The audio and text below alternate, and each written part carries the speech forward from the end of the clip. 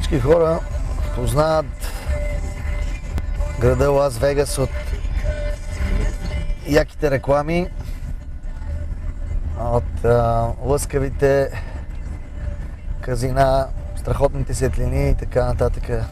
Това, което омайва, което съдържа мозъкът и непрекъснато стимулиран за веселби. Така съм и аз от 5 месеца тук. Все още съм стимулиран от обстановката, която предлага това място, което е специално изчислено и направено от психолози, финансисти и от строители и от цяла група хора, които са мислили как да създадат идеята за земен рай или по-точно за град на греха.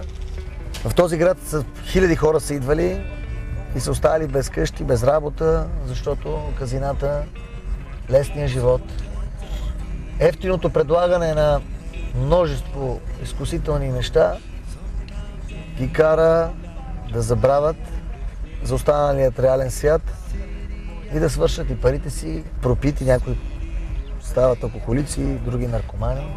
Да видим къде обаче може да свършиме, ако много дълго се подаваме на изкушенията на Лас Вегас и къде може да свършиме, ако късметът ни изневери, ако жена ни не изневери и ни изостави, приятелите ни изостават и ни предадат, или системата ни смачка толкова, че да нямаме сили да преодолеем загубите и стресът, който предлага животът понякога.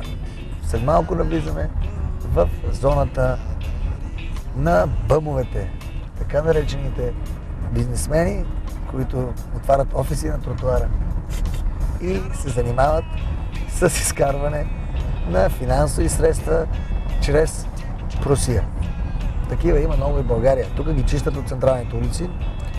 В Нью Йорк може да ги видите навсякъде. Живеят в кашони. Не знам дали има статистика, която покаже колко стотици хиляди хора в тази страна има, защото сигурно са стотици хиляди или поне. В Лас Вегас има над 40 хиляди души.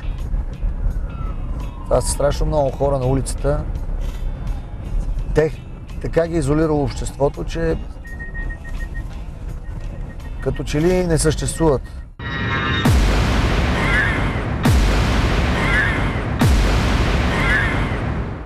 Едно време ми викаха Киро Перката. Другия свят на Лас Вегас, другата страна на живота. Тук до мен е един човек, който се опитва да намери работа. Окей, okay, buddy. What's your name? My name is Vince. All right. You tell me that you try to find work. Yeah, I'm, tr- I'm trying to find work. Don't matter if it's minimum wage. Um, save some money. Get off the street. Uh, how long you, uh, you live here in, in Vegas? For two two years. Two years. Before? Uh, New York. Yeah. How you came here? Greyhound. Yeah. You come to, to, to make business here, to work, or just to enjoy in Las Vegas? I wanted to work. I wanted to find some work. Maybe go back to New York next year. Yeah. I just I didn't find any work. And what about the government? Is help for, with something to you? Wow. They said you got to go apply for food stamps. But I applied one time. They didn't give me no. They didn't put no money in the cards. I never went back. I just never went back down there because they didn't put no money on the food stamp card. All right. Thank you. If you want some, if you want, uh, if you want to tell something to the public about the America, about you, about Las Vegas, whatever, whatever you want. Oh, Las Vegas is nice. It's nice. It's a nice town, but it's for, it's for the it's for the rich. It's for the rich though. You know, if you got if you're rich, if you don't if you're not rich, they don't want to really. Because everyone comes here to stay that's rich. You know. What are you working before? I used to drive a cab, long time ago. No. In New York? Yeah. Make like, you know, it was, it was I lost my license and everything. I, I never went back to renew my license. So Oh. that was a long time ago. That was like 15 years ago. I ain't worked, you know, that much since my family died. You know, Oh. Sorry. so I I've been trying to find work after they died. But they, they didn't leave me any any will, you know. So I got I'm, I'm I got to try to find work. A long time. Okay, thank you very much. All right. Thanks, sir. Good luck. Hey, you couldn't spare fifty cents or something, could you? Yeah.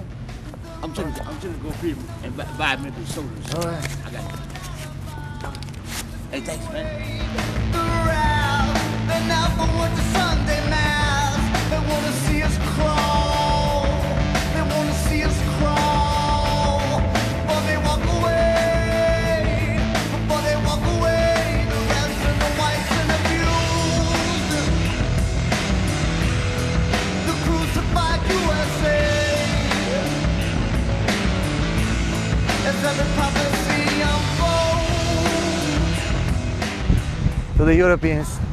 how the things going here? Just a few words. Yeah?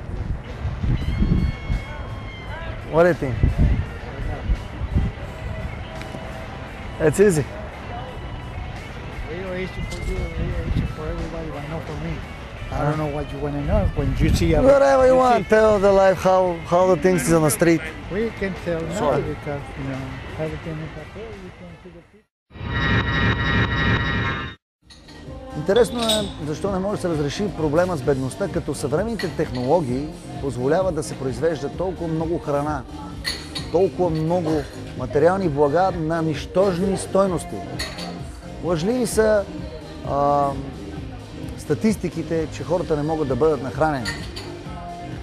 Много от вас не знаят, но по-малко от 1% от хората в света владеят повече от 40% от собствеността. Ушким създават благотворителни организации, като например Червения кръст, която е една организация, която изразходва около 70% от парите, които вие давате за своите офиси, за своите рекламни кампании, за хилядици служители по целия свят, за хубави компютри, коли и така нататък. Тези пари не достигат до човекът, който се нуждае. Същото е и другата световна организация УНИЦЕФ, която и тя харчи около 30% от парите, които давате за това.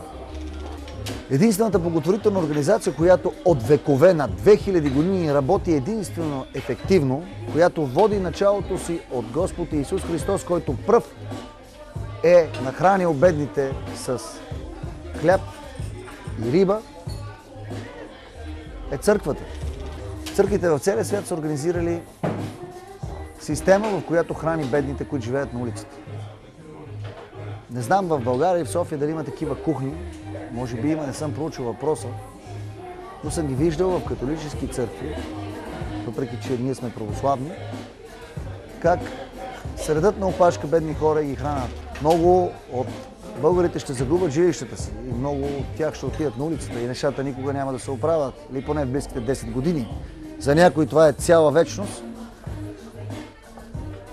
затова моята идея с тези думи, с това предаване е да ви накарам фитнес маняци, т.е. тези, които искате да се чувствате фит, да бъдете във форма, да се борите за истината, да се борите за справедливостта, да се борите за любовта, а не само за егото си, егоизма си. Този фит, който ние имаме, фитнес маняците, тренираме, изглеждаме добре, развиваме мозъка си, трябва да го използваме не за задоволяване на собственото си его, а нека и да задоволим нашето собствено его с добро дело, с добър пример, с помощ към ближния ти. Hi, my name is Tony Sims. Uh, I'm homeless because I caught my wife cheating on me after 21 years of marriage. Uh, I still love her very much. I tried suicide three weeks ago for her. Yeah, really? Uh, I still care for her. How I'm very- years old? 21 years of marriage. And how are you old? now? I'm 38 year old today, sir. 38. Today is my birthday, believe it or not. Uh, I'm asking people literally for food to feed me because I'm homeless. I never experienced anything like this in all my life. It sucks when you really want food and people look down on you because you're homeless. Are you from Chicago? I'm from Chicago, Illinois. Uh, I came here six months ago with my wife and I caught her cheating on me. And that's why I'm homeless, sir. I sleep across the street in that park. You find your wife now? I could find her. I know where she lives, but I'm scared to go home. Oh, But um, if I go home, I might wind up fighting with her. yeah, Try to find a job and you what? I've been looking for work. Alright. Nobody hires you because you have. Nice time. Thank you, sir. Yeah. Не става въпрос за това, че Лас Вегас или че Америка е в криза. Става въпрос за едно явление, което в Америка съществува от години и съществува и в, в света. Такова нещо. А, и не знам а, дали има някаква организация, която се опитва да помогне на тия хора.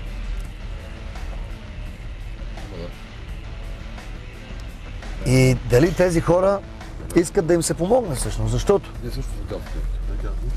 защото тези пичове са горди. Ето един я каза, отидох да, да аплайвам, отидох да купони за храна да ми дадат, да попълвам документи, те не ми даваха нищо и повече не е отишъл. Значи те имат, а, как да кажа, самочувствие, имат гордост, чувстват се хора и може би много голяма част от тях поради и психически най да са издухали и от гордост излизат от, общ- от обществото и живеят по този начин.